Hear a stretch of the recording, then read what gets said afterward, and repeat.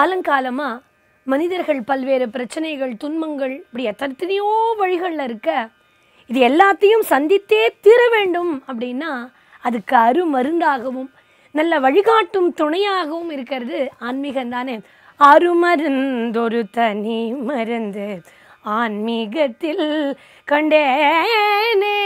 ஆன்மீகத்தில் மக்கள் அழகாக பல வழிகள்லையும் பல வடிவங்களாகவும் பண்டிகைகள் திருவிழாக்களாகி கொண்டாடி மகிழ கற்றுக்கொள்ள நம்முடைய தர்மத்தில் ஒவ்வொரு துறைக்கும் ஒவ்வொரு அதிகாரி மந்திரிங்கிறது போல அன்றாட வாழ்க்கைக்கு ஏற்றவாறு திறமையாக வகுத்து கொள்ள எடுத்த காரியங்கள் விக்னமின்றி ஈடேற விநாயகர் தீய சக்திகளையும் பகையும் வெல்ல துர்காதேவி செல்வ வளம் சந்தோஷம் தர மகாலட்சுமி ஞான மார்க்கம் கல்விக்கு சரஸ்வதி தேவின்னு பலவாரா நம்முடைய ஹிந்து தர்மத்தில் வகுக்கப்பட்டாலும் நிலம் நீர் அக்னி காற்று ஆகாயம்னு எல்லாமே இறை சக்திகள் அனைத்தும் ஒன்றே அதுவே பராசக்தின்னு யா தேவி சர்வபூதேஷு புத்திரூபேண சம்ஸ்திதா யா தேவி சர்வபூதேஷு शक्तिरूपेण संस्थिता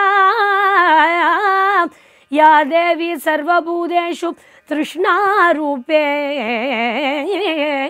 संस्थिता या देवी सर्वभूतेषु शान्तिरूपेण संस्थिता श्रद्धारूपेण संस्थिता लक्ष्मीरूपेण संस्थिता திருப்பி ரிப்பீட் பண்ணுறேன் या देवी सर्वभूतेषु श्रद्धारूपेण संस्थिता या देवी सर्वभूतेषु लक्ष्मीरूपेण संस्थिता नमस्तस्यै नमस्तस्यै नमस्तस्यै நாமோ நமக. சக்தி இல்லையேல் சிவம் இல்லை. நம்ம எப்போவுமே எனக்கு சக்தியே இல்லைப்பா சிவனேன்னு சும்மா இருக்கேன் அப்படிமோ மகா பெரியவர் தெய்வத்தின் குரல்ல இந்த இடத்துக்கு ரொம்ப அழகான வியாக்கியானம் தரார். சக்தி இல்லை சிவனேன்னு இருக்கேன் அப்படிங்கிறோம். அப்போ சிவனும் சக்தியும் ஒன்று இருந்தால்தான் உலகம் புறக்க முடியும். அதுக்கப்புறம் சும்மா இருக்கிறது அப்படிங்கிறது ஏனோ தானோங்கிறதுக்கு ஒரு வார்த்தை சொல்லுவோம். காமாசோமான்னு பண்ணியிருக்கான்ப்பா ஒரு வேலையை அப்படிம்போம். அப்போ என்னென்னா ரொம்ப சுமாராக இருக்குது அந்த காரியம் முழுமையடையலை ஏனோ தானோன்னு மகாபெரியவர் வியாகியானந்தரார் காமா சோமானா ஏதோ தப்பான வார்த்தை இல்லை. காமா சோமா இல்லை காமா ச உமான்னு பிரிக்கணுங்கிற. காங்கிற சரஸ்வதி மாங்கிற லக்ஷ்மி ச. அப்போ ரெண்டு பேரும் சேர்ந்து அவளேயான உமா அவள் தான் காமாட்சியாம்.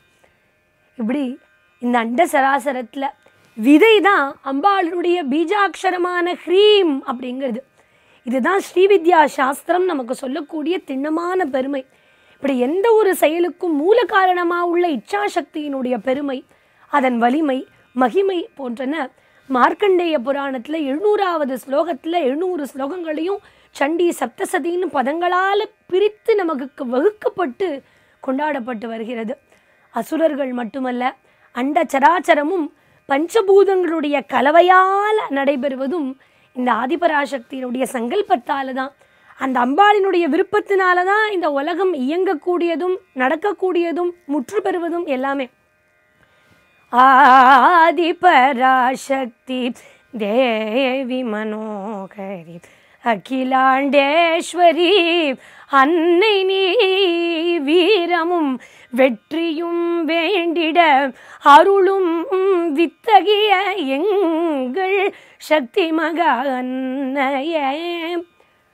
ஆதிபராசக்தி மூல காரணமாகிய பிரணவத்தில் உள்ள அஷ்டாத்திரயம் அப்படிங்கிற ஆ ஊ ம ஆகிய மூன்று எழுத்துக்களுடைய உட்பொருளாக உரைபவள் துர்கா. ரிக் யஜுர் சாமவேதங்களுடைய உட்பொருளாக உரைபவள் துர்கா.